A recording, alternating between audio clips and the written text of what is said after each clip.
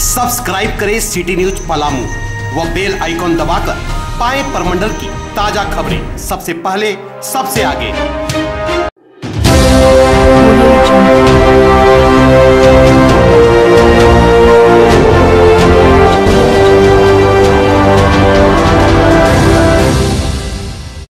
पलामू ज़िले की जपला स्थित ए सिंह कॉलेज में मंगलवार को इंटेलेक्चुअल प्रॉपर्टी राइट यानी बौद्धिक संपदा अधिकार विषयक एक दिनी कार्यशाला का आयोजन किया गया। कार्यक्रम के ज़रिए वर्तमान दौर में सभी व्यक्तियों व समाज के लिए बौद्धिक संपदा अधिकार को जानने, समझने और व्यवहार में लाने की आवश्यकता पर बल दिया गया। कार्यक्रम में बतौर मुख्य अतिथि शिक्षाविद सुभाष चंद्र मिश्र के अलावे तदर समिति के अध्यक्ष अरुण कुमार सिंह, व्याख्याता विवेकानंद उपाध्याय सहित कई शिक्षक उपस्थित रहे, जहाँ बड़ी संख्या में छात्र छात्राओं के अलावे शिक्षकेतर कर्मचारी भी मौजूद थे।